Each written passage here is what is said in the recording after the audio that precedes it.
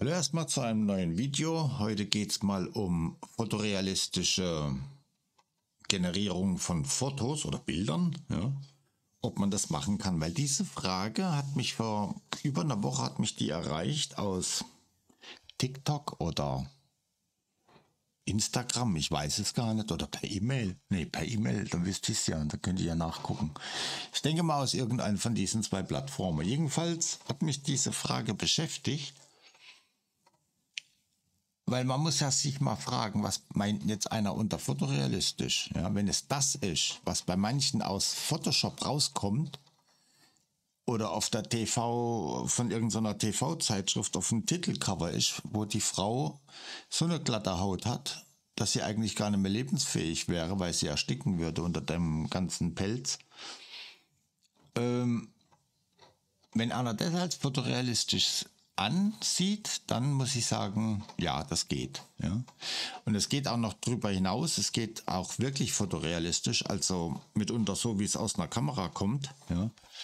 Äh, da bin ich aber noch gar nicht so weit. Aber ich zeige euch mal, wie nah man kommen kann mit diesen Möglichkeiten, die man hier hat. Ja, so auch, sage jetzt mal, kostenfrei. Sie kosten halt Zeit, weil man muss es installieren und man muss es auch irgendwann mal verstehen. Ja. Was ihr hier seht, ist so ein Arbeitsablauf, ja, von links nach rechts, also so wie man eigentlich ein Buch liest. Ja.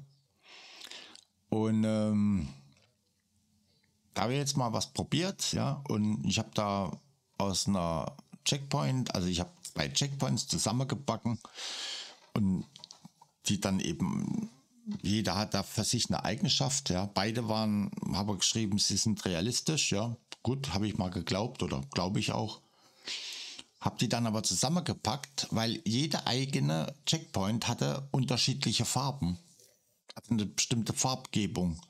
Und da habe ich mir gedacht, wenn ich jetzt das eine nehme, was mir zu ungesättigt war, und die andere nehme, die mir aber zu gesättigt war, und mische die miteinander, und zwar im Verhältnis 50-50, so habe ich es mal gemacht, ich habe zweierlei probiert. Einmal mit 70 Prozent die eine und dann jetzt äh, habe ich die, die, wo ich jetzt ja gerade ausprobiert, die hat 50-50 von den beiden.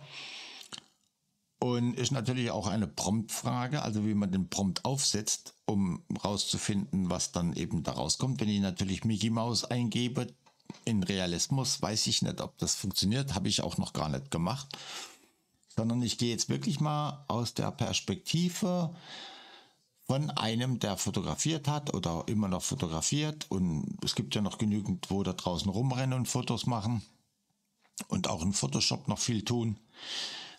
Aber ich will euch mal zeigen, wie schnell oder wie einfach man hier über dieses Programm, ich starte das jetzt auch mal, ich lasse mal da so ein paar Bilder mal kurz generieren. Und ich zeige euch mal, wie nah ich mit dieser Checkpoint, die ich mir da gebastelt habe, äh, dran gekommen bin. Ja? Zum Beispiel das hier. Das kann man so fotografiert haben und dann klar, ein bisschen Photoshop oder ein bisschen mehr, mehr oder weniger Photoshop. Aber das würde funktionieren. Die Finger sind, kann man nehmen, ja, da hat die KI irgendwie Probleme. Man sieht nämlich, dass der Fingernagel von, da hängt da irgendwie lose da drin. Da habe ich auch noch meine Probleme. Oder sowas hier, ja. Oder sowas. Das kann man, das geht mit generiere. Und das ist jetzt alles, das geht, ja. Ich kann ja wirklich da irgendwo in der Wüste gestanden sein, ja, und da ein Motoshooting gemacht haben, ja. Das war nämlich auch die Frage, ob Modeshooting mittlerweile auch generiert wird. Und äh, ja, das machen die, ja. Und die machen das sogar mit echten Modellen. Ja. Die Modelle kommen einmal zum Shooting, ja, zum, ins Studio unter bestimmten Voraussetzungen. Äh, und dann werden die da fotografiert und kommen dann eben in den Computer rein als Modell, ja, bekommen Geld und kriegen dafür, also derjenige welche, die Agentur oder was auch immer, kriegt dann für eine gewisse Zeit das Recht, diese Bilder oder sie als Modell verwenden zu können. Ja? Das wird schon praktiziert. Hier zum Beispiel hat man das Problem, wenn das Gesicht viel kleiner ist wie das Bild, dann sehen die meistens aus wie vom Busüberfahrer. Ja, gut, okay, das sieht jetzt nicht so aus, wie wenn das jetzt da eine stark befahrene Straße ist. Das kriege ich auch nicht in den Griff, habe ich noch nicht hingekriegt. Aber sobald ich irgendwo hier in dem Bereich bin, ja, das sind alles nur generierte Fotos und die kann man so fotografiert haben. Ja, hier zum Beispiel das Auge wenn einer schnell guckt, sieht das nicht. Wenn einer aber genau guckt, sieht er zweierlei Sachen. Einmal das Auge und einmal, dass hier unten ein Finger irgendwo aus der Handfläche rauswächst. Ja, da taucht auf einmal noch mal ein Finger auf. Ja, weil wenn das der kleine Finger ist, dann ist er doch recht relativ lang. Ja. Also irgendwas stimmt mit der Hand nicht.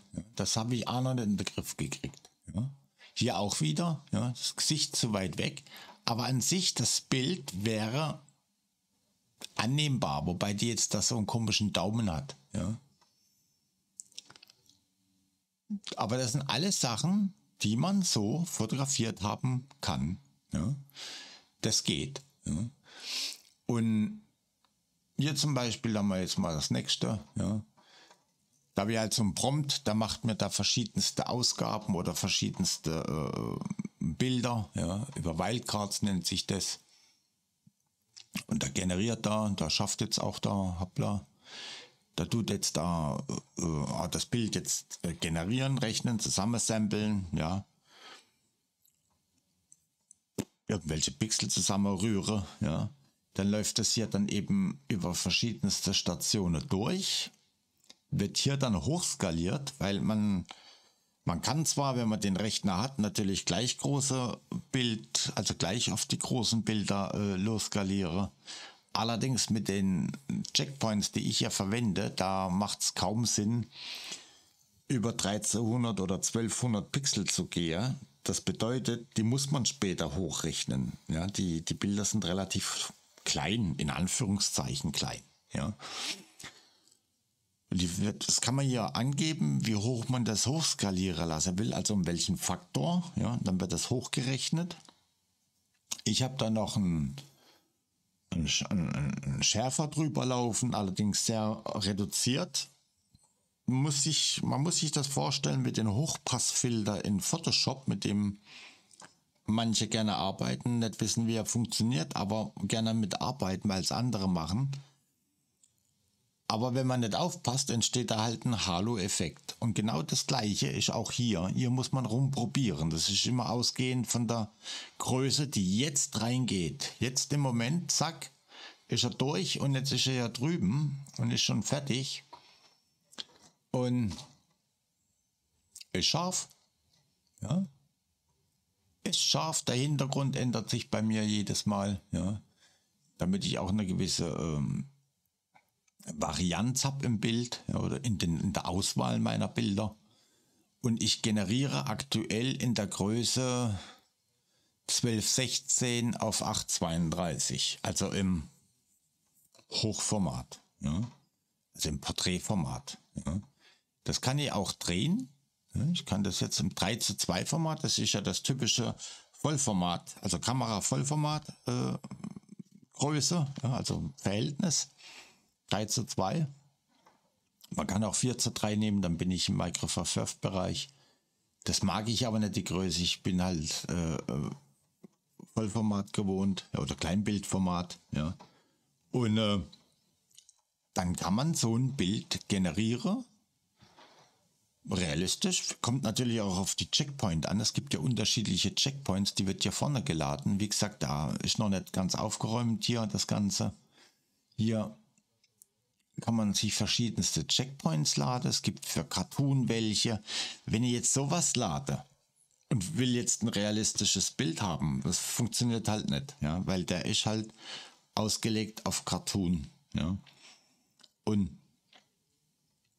das funktioniert dann eben nicht. Da braucht man dann eben Checkpoints. viele versprechen ja auch, weil schon der Name, ja, Hyperrealismus und was die, wie sie alle heißen, ja und halten aber nicht viel. Vor allem Dingen, was mir auch aufgefallen ist, ist, dass die, wenn man beim Prompt nicht aufpasst oder nicht dagegen steuert, dann haben die alles so irgendwie so ein asiatisches Aussehen. Alle. Ich weiß nicht warum. Ja, wahrscheinlich wurden die ganzen Checkpoints und auch die KI, ja, hauptsächlich mit äh, Bildern gefüttert oder trainiert aus dem Bereich, ja, die haben alle irgendwo so einen kleinen Touch ist da mit drin.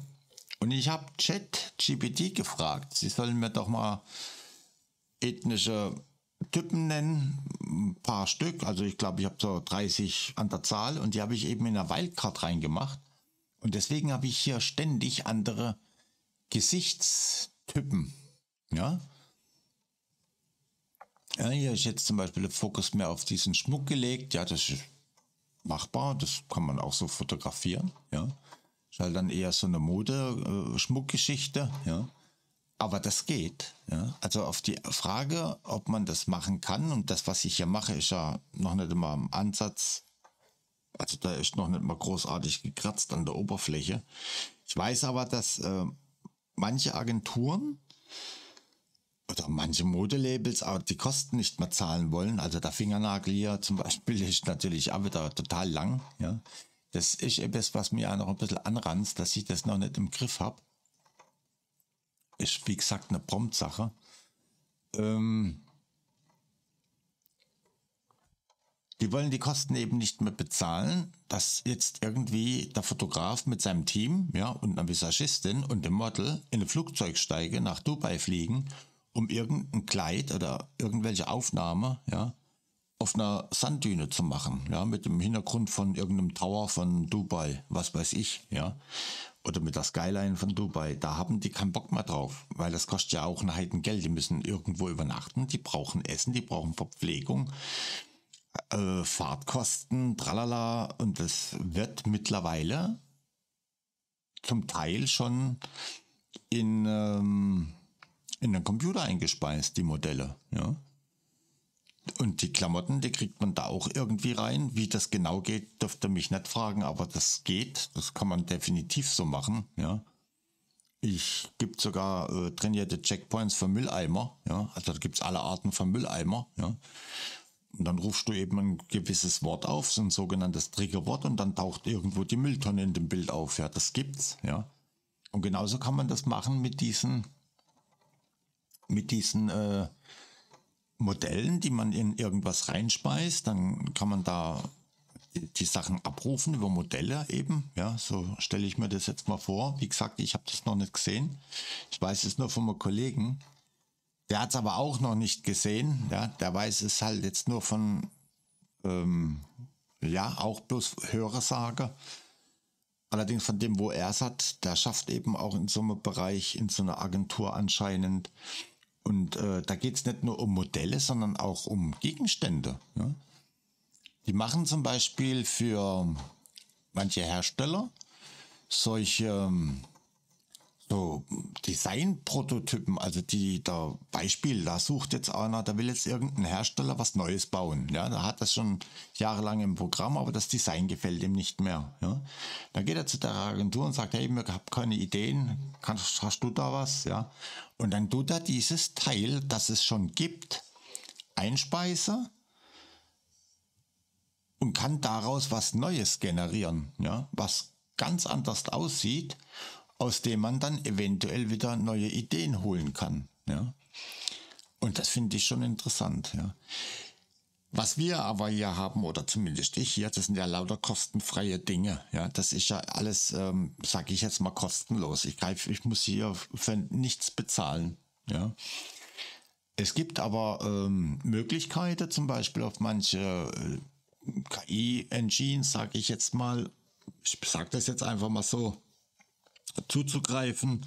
Die sind natürlich auf dem neuesten Stand. Zum Beispiel gibt von Stable Diffusion anscheinend jetzt auch eine 3.0er Version. Die ist aber nur testweise momentan anscheinend im Laufen und da kann man sich auch registrieren. Dann kommt man da in eine Warteschleife rein und dann vielleicht das Recht, das mal da auszuprobieren oder einen Zugang zu bekommen. Und äh, aber das, was wir ja haben, ist alles kostenfrei. Ja, ist ja zum Teil auch schon ich sage jetzt mal nicht unbedingt veraltet, aber halt nicht auf dem neuesten Stand. Ja. Und da bleibt es einfach mal abzuwarten, was das Neue bringen wird. Und ich denke mal, das geht dann noch viel weiter und das geht schnell weiter. Ja. Also was sich in den letzten, sage ich mal, halben Jahr getan hat, ja, das ist schon krass. Das allein schon die, die ganze Zeit gab es ja diese Checkpoints, ich nenne es jetzt mal hier Checkpoints, in einer Version 1.5, ja, die waren, da war die höchste Auflösung oder sagen wir mal, auf die, wo sie trainiert waren, 512 Pixel mal 512 Pixel. Mittlerweile sind wir bei 1024 Pixel. Das ist auch das Problem bei Photoshop noch, immer noch. Wenn ich da die KI nehme, um irgendwas zu generieren, zum Beispiel, ja, und ich, das, was ich generiere, ist aber größer wie 1024, dann wird es unscharf. Dann wird es unscharf, ja. Und solange ich aber das Maß einhalte, funktioniert es recht gut. Und auch da geht es immer weiter. Und auch Adobe hat mit seinem, mit seiner Engine, wo sie da haben, ja, Firefly, was es auch immer sein mag, ja, äh, einiges gemacht. Ja, da ist richtig vorangegangen.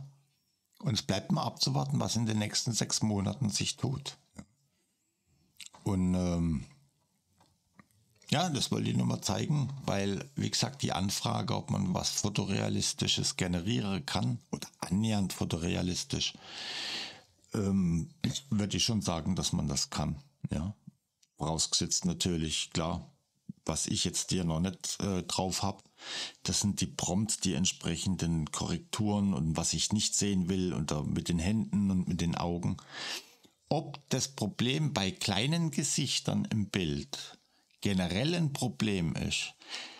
Also bei mir ja. Ich habe aber auch schon Videos gesehen, wo das auch der Fall war. Allerdings ging es dann nur darum, dass die mal hier schnell was zeigen wollen. Da kam es nicht drauf, oh, ob das jetzt ein Beauty Face ist, wobei das nicht ging, weil das war eh was, äh, sowas generiertes, so ein bisschen future-mäßig. Und da hat da keine Rolle gespielt. Aber ich denke mal, dass es wirklich ein Problem ist noch, wenn das Gesicht nur einen ganz kleinen Bereich vom Bild einnimmt, dass es dann einfach nicht ausreicht, das zu generieren, korrekt zu generieren. Dazu bräuchte man dann wahrscheinlich entsprechende Steps, also eine gewisse Anzahl von, Gener von, von Schritten, ja, um das hier zu generieren. Also ich sage mal hier, ich gehe mit 20 Schritten rein, ja, für die Größe. Da sagen manche, boah, das ist ja viel zu wenig. Ja, das ist auch. Mit Sicherheit mag das zu wenig sein. Es ist keine Turbo-Variante, es ist keine Lightning-Variante. Es ist eine ganz normale SD, eine ganz normale SDXL-Checkpoint. Wenn ich das aber mit 40 mache auf meinem Rechner, ja, dann kann ich mir jetzt ein Essen kochen. Ja, und zwar vom Kartoffeln schäle bis zur Verdauung. Ja, und dann ist das Bild fertig. Ja. Das ist ähm, auch ein Riesenproblem. Also wenn das einen mal interessiert, mein Tipp ist, guckt euch die zwei Kanäle an, die ich unten verlinken tue. Die haben beide Windows-Rechner. Einen davon habe ich schon mal angeschrieben per Kommentar, ob er mir bei dem und dem Problem helfen könnte. Kann er nicht, weil er einen Windows-Rechner hat. Das sind auch zweierlei Probleme, also zweierlei Systeme. Das fängt schon alleine bei dem Sampler an, da gibt es ja auch verschiedene. Ja. Äh, zum Beispiel hier der Euler oder Euler, ja, den tut er unter einem anderen Scheduler laufen lassen, wie ich es kann. Bei mir läuft das unter dem äh, Scheduler, so nennen die das, ja, ich sage dazu Scheduler, weil es da auch steht. Ich muss den unteren nehmen. Das muss man halt rausfinden, ja. Zumindest ist das auf meinem System so, ja. Wie das bei einem anderen ist, der auch einen Mac hat. Das kann bei dem schon wieder ganz anders sein, ja. Je nachdem, wie das Ding bei ihm läuft, ja. Aber bei mir ist es eben so. Und ich hatte auch da ein Problem und da konnte mir auch nicht helfen, weil die Systeme zu weit auseinander sind. Windows ist ein eigenes und Mac oder Linux sind, ist wieder was anderes, ja. Und was mich auch ankotzt, ist, dass ich keine Checkpoints trainieren kann, also selber machen kann, wirklich mit Daten füttern kann. Ja. Das geht mich mal, da, ich glaube, wenn ich das, wenn das gehe, tät, da würde ich mir mal da ein paar Fotos machen und dann mal das Ding voll knalle. Einfach mal nur, um zu wissen, wie das funktioniert, weil mich das echt interessiert, ja, wie das geht. Ich weiß, So eine Checkpoint, so eine SDXL Checkpoint hat 7 GB oder mehr. Ja. Das sind riesen Datenmengen, die man da hin und her schieben tut. Und mich würde das echt mal interessieren, wie sowas, wie das funktioniert. Ja.